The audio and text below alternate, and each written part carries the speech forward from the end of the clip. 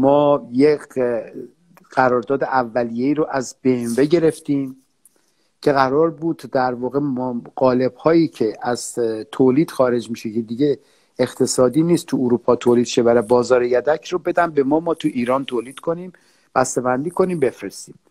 شاید بگم بیش از هفت الی هشت تا سفر رفت آمدی اتفاق افتاد تا اینا ما رو تایید کردن و این کارم خلاصه به اون جنگ اول خلیج فارس که آمریکایی‌ها حمله صدام حمله کرد به کویت و جنگ شد.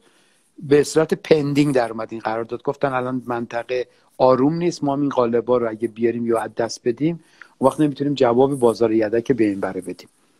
که هنوزم فکر می‌کنم اون قرارداد پندینگه. چون بعدش هم دیگه جنگای بعدی شد و تحریم شد و اینا دیگه هیچ وقت نیومدن. یه کار قشنگ دیگه که چی شد؟ ببخشید علی مراد اینجا زر جلوتر چی شد که BMW مهرکان پارس رو شناخته بود و اومده بود به مهرکان پارس گفته بود که بیا و برای من قطع تولید کن؟ نمایشگاه فرانکفورت. یه قرفه خوب.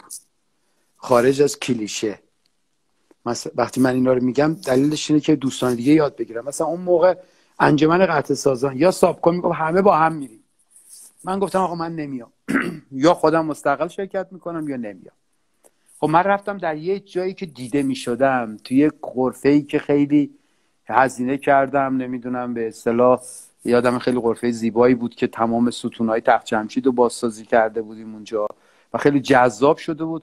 ما در واقع مسئولین خرید بنبر اون تو دیدیم. اونجا ملاقاتشون کرد. تو نمایشگاه فرانکفورت شروع شد اصل موضوع. در, در تو نمایشگاه قبلیش که تو پاریس بود با شرکت یو ای زد روسیه شروع کرده بودیم راجع به دیولپمنت داشبورد یه خودروی آفرود جدیدی که طراحی می‌کردن به نام پتریوت که الان فکر می‌کنم وانتش تو ایران داره به صورت به اصطلاح تقریبا اسکیدی میاد. هیچ کس باورش نمیشه که تمام داشبورد اون تو ایران دیولپ شد تو ایران تولید شد تا روزی هم که از به اصطلاح تولید رفت بیرون از تو ایران می‌رفتیم محصول و خیلی جالبه این مال ایدکو بود یعنی مال ایران خودرو و سابکو بود. شما, شما گرد داره. شما شما تا حالا شنیدین راجع به این کسی به شما گفته باشه؟ می‌دونین چرا؟ می‌دونین چرا؟ به خاطر اینکه درست بعد داشبورد پیتو رو بعد از اینکه من اومدم بیرون مهکان پارس برد داد به شرکت فریمو تو آلمان براش طراحی کنن وقتی که همون بچه های مهرکان پارس این طراحی رو برای اون شرکت یو ای زد کردن. من با چهارده نفر اون تولید رو انجام دادم.